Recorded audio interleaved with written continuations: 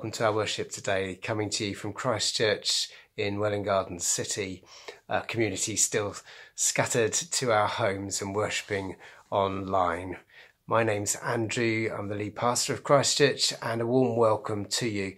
If you've recently moved into the area, or indeed if you live further afield and you've started to uh, worship with us online, we'd love to connect with you. Uh, and so please email us on info at christchurchwgc.org.uk and we'll get back to you. We'd love to hear from you.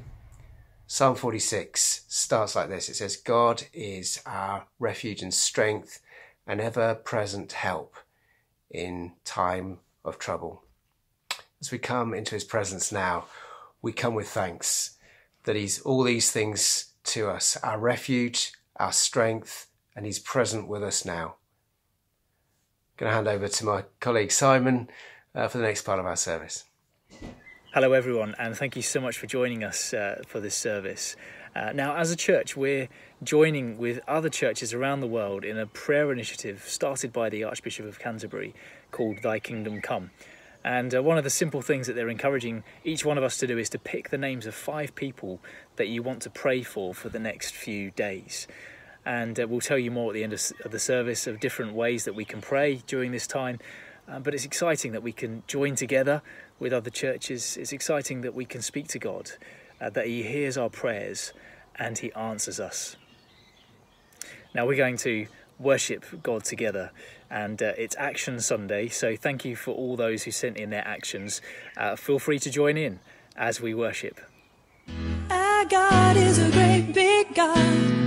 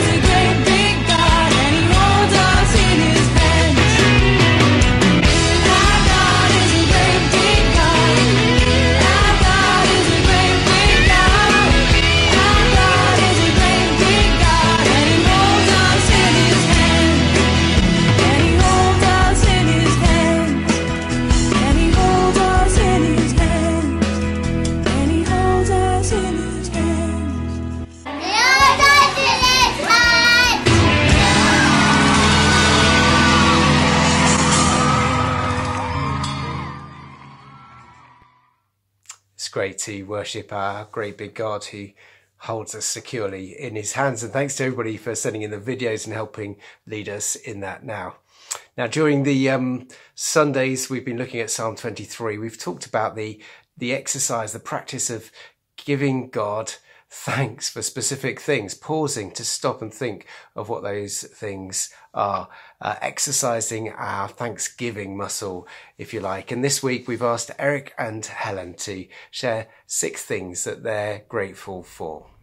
In this lockdown situation, we are particularly grateful to God. We're not isolated because we have each other for company and we haven't got too many responsibilities like homeschooling. We continue to enjoy very good health and fitness. We've got plenty of space, house and garden to enjoy and also to work in. and easy access to woods and fields where we can walk with very few others. And the weather has been lovely. And we're grateful for the technology which allows us to connect, sort of, with family and church. God is very good. Can you believe it? It's the second to last week in our series on Psalm 23. We've been going through it stage by stage, verse by verse, and next week we'll be challenging you to learn the whole thing off by heart. Um, but let's hear it again as it's read to us by Athena. The Lord is my shepherd, I lack nothing. He makes me lie down in green pastures. He leads me beside quiet waters.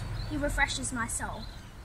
He guides me along the right paths for his name's sake, even though I walk. Through the darkest valley, I fear no evil. You are with me. Your rod and your staff, they comfort me. You prepare a table before me in the presence of my enemies. You anoint my head with oil, my cup overflows. Surely your goodness and love will follow me all the days of my life, and I will dwell in the house of the Lord forever. So the next part of the psalm says this it says, You prepare a table before me in the presence of my enemies. And uh, here I am, I'm, I'm sat at a table. I know you can't, uh, can't see it, but I actually am sat at a table. And uh, what's a table for? Well, we eat at tables, we spend uh, time with others at tables. Um, but it sounds like David's imagining a table that's been prepared for him, like a, like a feast. Imagine a table uh, full of choice food and drink, places set for the guests uh, who will eat all these things. Um, what does that What does that bring up to your mind? Well, it's a picture of joy, of friendship, but it's also a, one of protection and redemption. He says that this feast happens in the presence of his enemies. Those who were previously against him are now watching him prosper. Let's pause there for a moment as we think about the Psalms in general. There's um, a scholar called Walter Brueggemann who says that there's three types of Psalms. First of all, there's the Psalms of orientation, marked by a happy face. Um, when everything's amazing, everything's going so well for the psalmist. Uh, it's it's the kind of psalm summarized by the song I think to myself, what a wonderful world. And we, we have those feelings, don't we? Those moments in life where just everything's going well and we want to praise God for them. They're, psalms of orientation. But then there's also psalms of disorientation. The kind of psalms where, for the person writing them, everything's falling apart. Life is a mess. And where on earth is God, for goodness sake? Um, this could be summarized by a sad face. And then finally, there are the psalms of reorientation things were messed up for the psalmist, but now God has redeemed the situation. He's sorted it out. I once was lost, but now I'm found. It was bad, but I'm in a good place now. And the different types of psalms remind us that we can bring all our emotion, all our frustrations and joy to God. He can cope with whatever we throw at Him. So here's a question Which one do you think Psalm 23 is? I reckon it's it's a psalm of reorientation. He's previously been surrounded by these enemies and threats, but now he's more aware that he's surrounded by God and his powerful love in this situation. God is his good shepherd and he's redeeming the situation. You prepare a table before me in the presence of my enemies. What does that make you think of in terms of your own life? First of all, you might think of your experience. Maybe you can think of enemies that have come your way in the past uh, battles that you've won, injustice that was made right, and people that might have hurt you, but you've worked your way through it, through the pain, you've overcome. Maybe you think of ways in which things have turned out for, go- for good that you never expected would. And, and you might want to thank God right now for ways in which He's, he's brought you through all of that. He's prepared a table before you. The second thing I think of is, is, is this bit about in the presence of my enemies. You know, it makes me think about the cross. Uh, for Jesus, his moment of glory was at the cross, which seems bizarre because it was so awful. But for Jesus, this was the moment of triumph when the power of sin and death and evil were being conquered through his death. And all of this happens in the presence of his enemies. He's surrounded by those who have crucified him. And it's a reminder to me that God can do his best work, uh, even when it feels like we're in the midst of a battle. It's in the suffering, it's in the struggle that God is with us, healing, restoring, redeeming, just as he did with Jesus, as we wait quietly for a resurrection. And then finally, this psalm makes me think about the future as well. Uh, we live in these kind of in between times where there's still injustice. Not everything does go our way, not everything is fair, not, not everything does work out in the way that we want. Uh, But this verse speaks about a time when God will make everything new. A day when the suffering of Good Friday is redeemed by the resurrection of Easter Sunday. A, a day when, like Jesus, we sit around a table with friends after his resurrection, contemplating how every enemy has been conquered. This psalm looks forward to a day when all the promises of God are fulfilled, which is good news, isn't it? The future is bright, there is hope. As we bring our thoughts to God right now, we're going to worship Him before we look at the next part of the psalm, and we're going to use a song called Surrounded. And as we sing this together, um, let's thank God that even on days when it looks like we're surrounded, it's in those moments that we're also surrounded by God.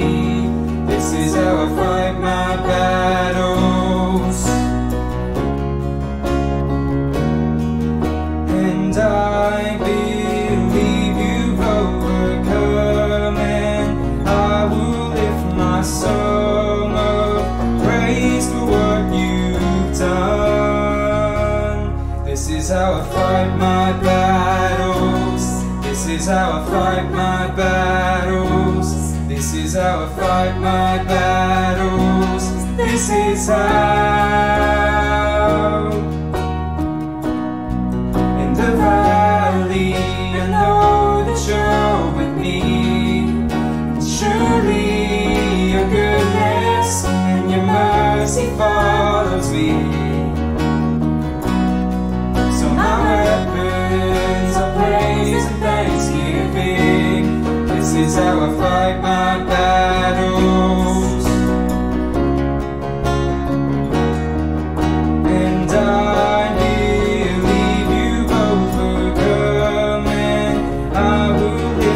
lift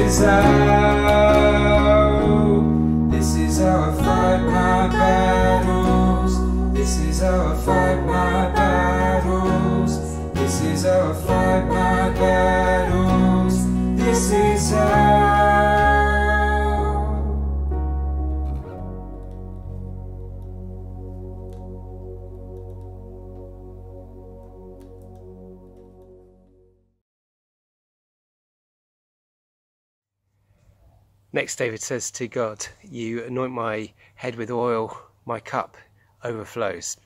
There's a sense here of relaxing into this feast at the table, despite the fact that his enemies are present.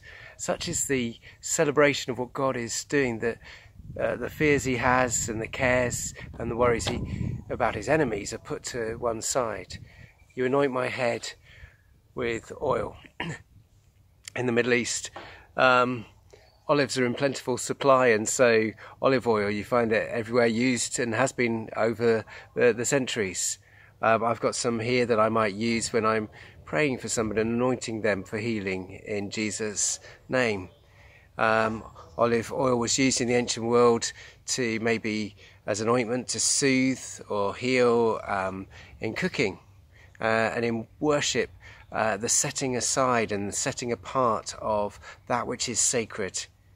And here, what we have is the image of a head anointed with oil. Uh, and this is a picture of refreshment uh, and joy that the Hebrew word translated an anointed here uh, speaks about being reinvigorated and strengthened by oil on the head, refreshed. And the, this image of being reinvigorated uh, and strengthened with oil is often linked with joy, uh, just as we find in other scriptures in the Old Testament, where it talks about the oil of joy, the oil of gladness. And uh, so you anoint my head with oil speaks about the incredible well being and joy that God places upon us and around us. Uh, and thinking about my cup overflows, um, have you ever wondered when you go to somebody's house how long you're supposed to stay and when you're supposed to leave and how you judge that? Or maybe you've been hosting someone and found it difficult to let them know uh, it's time to go now.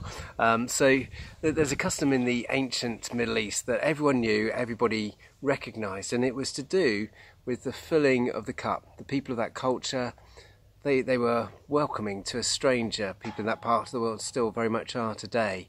Uh, and whoever turned up on your doorstep or outside your uh, tent flap, as it were, the first thing that you did was that you offered them a glass of water or of wine.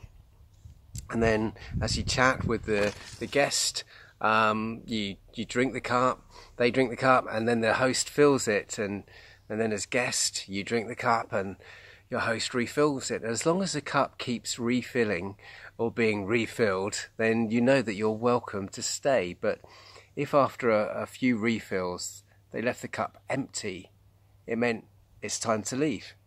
Everybody knew the custom. So, where does this overflowing cup come into this?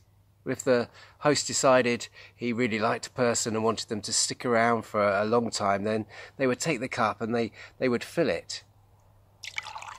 And they would fill it not only to the rim, but uh, they would let it overflow. They would keep going, whoops, until it, it overflowed. Now, think about it. Um, you don't waste water when you're in a really dry, hot land like a desert area, and the overflowing cup then becomes a symbol. Uh, it's, it's like you really like the person, you want them to stay. Um, it's a symbol of full acceptance. Uh, there's a special place for you.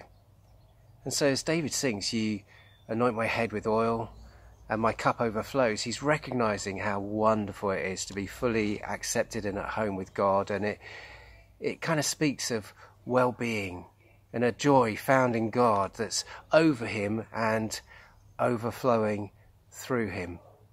The New Testament speaks about um, those who know and follow Jesus as overflowing, overflowing with hope in Romans chapter 13 overflowing with love towards others in 1 Thessalonians chapter 3, overflowing with joy in 2 Corinthians chapter 8, and then generosity that comes out of that. And, and Jesus was recorded standing up on a feast day and inviting the thirsty to come to him. Let me read from John chapter 7. Jesus said, Let anyone who's thirsty come to me and drink. Whoever believes in me, as the scripture said, rivers of living water will flow from within them. By this he meant the Holy Spirit, whom those who believed in him were later to receive. That's from verse 37 through to 39.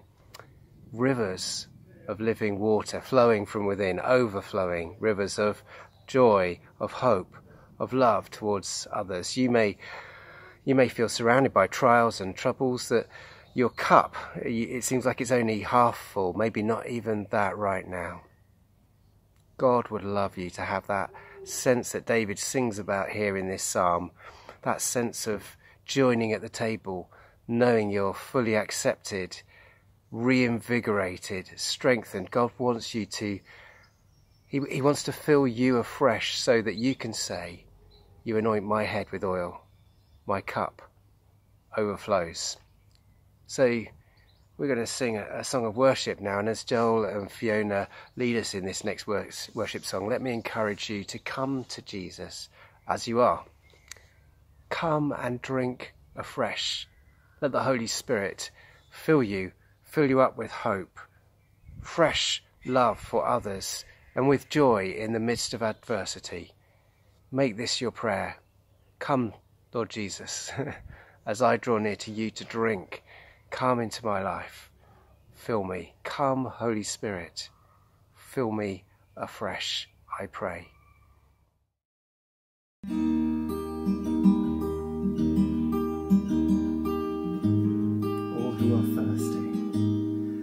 All who are thirsty, and all who are weak, come to the fountain. Dip your heart in the stream of life. Let the pain and the sorrow be washed away in the waves of His mercy. This deep cries out to deep. We sing, Come,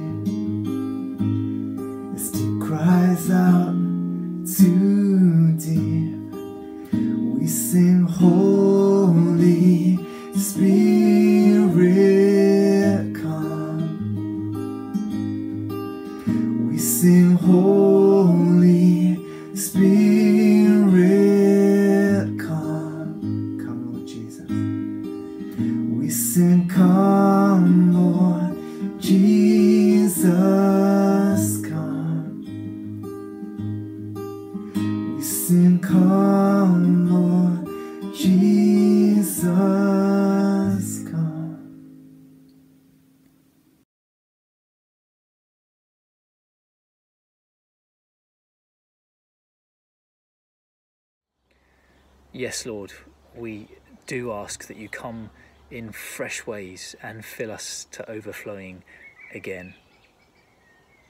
You know, when God lavishly provides for us, and when there's this overflow of all that He does in our lives, uh, it's never just for ourselves.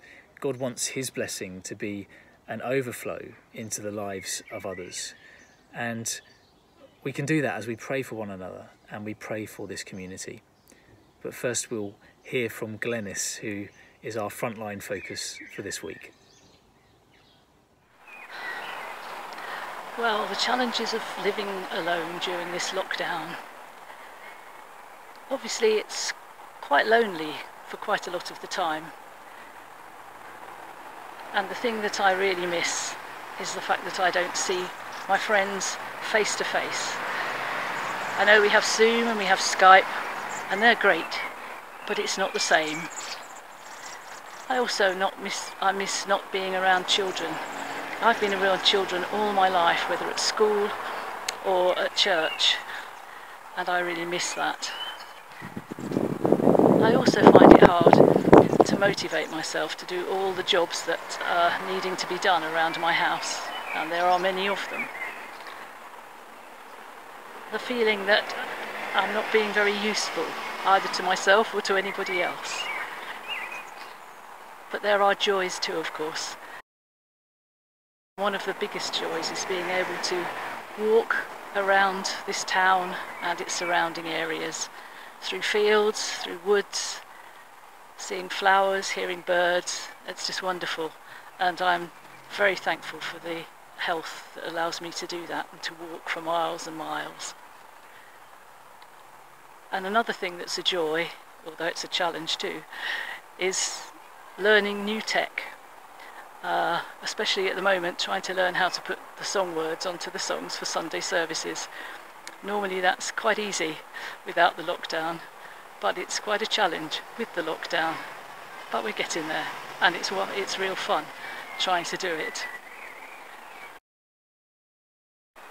Please pray that in all of this, I realise more that I'm not alone because God is always with me. I find that hard to remember sometimes. And also that I may be able to motivate myself to do the things that need doing and not just to waste time. Thank you, uh, thank you, Glennis, for uh, sharing with us. Shall we just pause and pray for her? Father, we do indeed pray for Glennis and for others like her. And uh, we pray for a sense of your presence. Open her eyes to see the purposes you have for her in these days. Encourage her, we pray. Sustain her. With your hope, sustain her. And may she be a blessing to many in these challenging times. For we ask it in Jesus' name. Amen. Now, we're going to pause for others in our community uh, in just a moment. Um, in our church diary, we had planned um, prior to this uh, lockdown um, a prayer walk in the area of one of our church buildings. And prayer walking is a great way to get active in prayer, and it's as simple as it sounds. You, you pray uh, and you walk, keeping your eyes open as you go. And uh, it's something that you could try where you live, but uh, especially think about doing that during this week um, when we've got Thy Kingdom Come uh, taking place. Uh, you can do it, and it helps you see a familiar place through different eyes as you uh, listen out to God and what He's saying and capture His heartbeat for an area, and you learn a little bit more about God's heart for the community where you live. Now, you, can pray in silence as you walk, pausing to look and listen at particular points, or you simply pray quietly where that's appropriate. But the point of prayer walking isn't about being seen praying, it's about seeing and praying. Catherine, who's our leadership team member for our Parkway site, and Dave, who's our leadership team member for our Pear Tree site, have, have been out and about along with me, and we've pulled together what we've called a virtual prayer walk, pausing to pray about the different things we see in the, in the area near the two Christchurch sites. So as we watch this, let's use this as our prayers to God for the area where we live. Let's pray. And as we pass homes, flats, and hostels, we think of those who live by themselves. We pray that the Lord gives them good contacts in this time. And we also think of those who are self isolating at the moment due to ill health. And we pray that the Lord will keep them going. We pray for those who live by themselves. In Jesus' name, Amen. As we pass schools, preschools, and nurseries, we pray for all those involved in education at this time. We ask you to sustain and refresh all teachers and other academic staff who have kept going for children of key workers. And as schools prepare to open to more pupils soon, we pray for wisdom and peace as staff prepare healthy and safe ways for children to return. Father, we pray for all in education.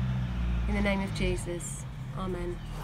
Father, as we pass new housing developments, we pray for all who are moving into our neighbourhood in the midst of the chaos and disruption of the lockdown. May they know your peace. May they be surprised how quickly they settle and may the local community and especially your church, your people, extend a warm welcome in your name. And may many find a home with your people in your church, we pray. Father, we pray for all moving into our neighbourhood in the name of Jesus. Amen. As we pass office buildings and industrial units, we pray for businesses and those struggling to survive during the pandemic.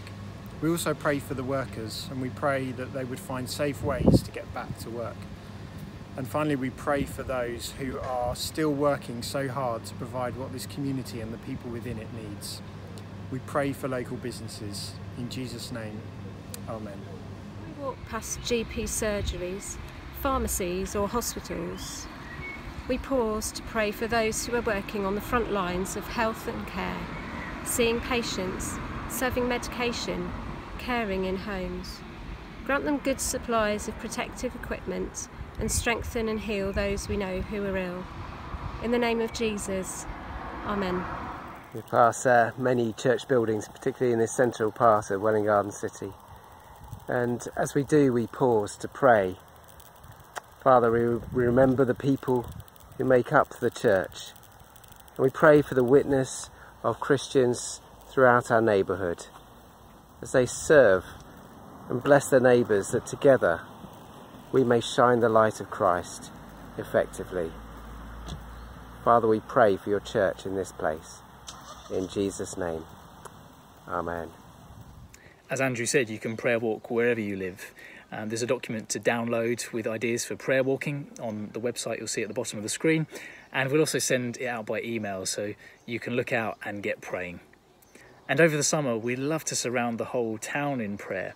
Uh, you might know that uh, there's been a route created that's 20.20 kilometres long because it's 2020 and it's a special centenary route that goes all the way around the town.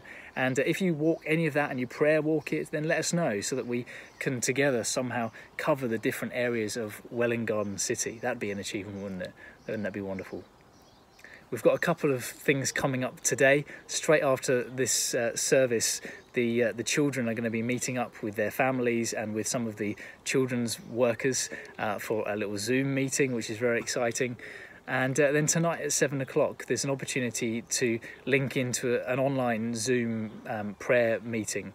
And so, um, if you'd like uh, details as to how to access that, then uh, if you'd like to email this email address below and we'll get the details to you. But seven o'clock, we're going to light a candle together and we're going to pray. Thank you so much for joining us today. Uh, do get in contact to let us know how you're doing. Uh, if there's specific things you can be praying for, then you can email uh, this address uh, here so that we can be praying for you. And, and may you this week know the blessing of God, Father, Son, and Holy Spirit, who fills your cup to overflowing, who anoints you, who prepares good things for us. And may you also this week be aware of ways that you can pour into the cup of others, being Christ in all you say and do. Amen.